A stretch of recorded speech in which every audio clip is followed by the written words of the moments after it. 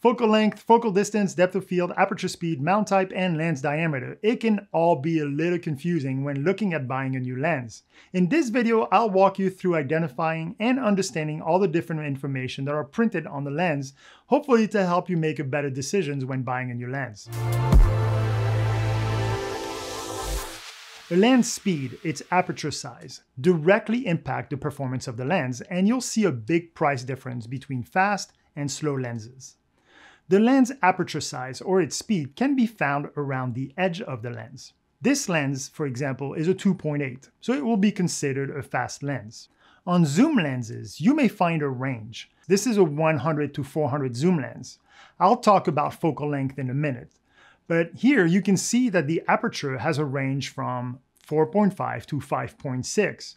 This means that this lens has a maximum aperture of 4.5 at 100 mm and a maximum aperture of 5.6 at 400 mm.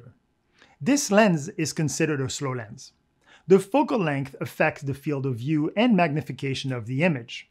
A shorter focal length results in a wider field of view or wide angle, while a longer focal length gives a narrower zoomed in view, Lenses with a focal length below 18 millimeters are considered wide angle, while lenses above 85 millimeters are telephoto lenses. You can typically find the focal length written in a couple of different places on the lens.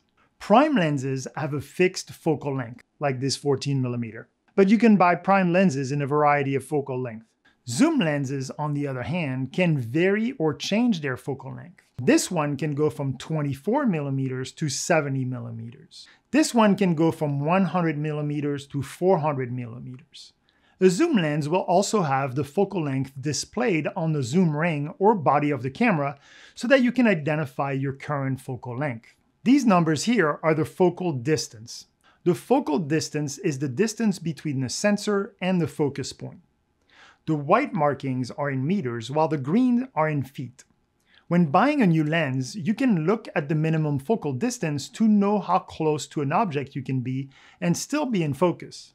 Macro lenses, for example, allow you to get very close and give you the ability to film very small subjects.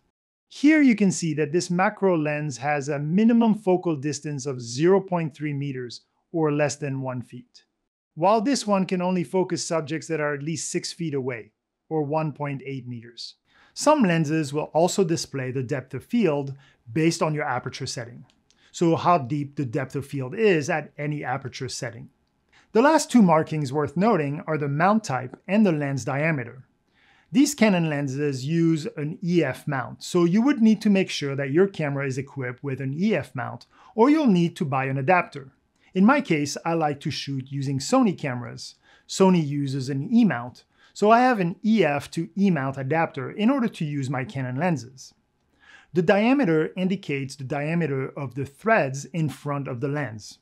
Those are important if you plan on attaching any type of filters or accessories like a matte box, for example. This ND filter is an 82mm filter and will fit in front of this lens, but it will be too big to fit on this one. I hope this information was helpful in making informed decisions on what lenses would fit your needs. Thank you for watching this video until the end. As a token of my appreciation, I'd like to offer you my free camera setting cheat sheet. Look for the link below to download your free cheat sheet. Thanks again, and happy filming.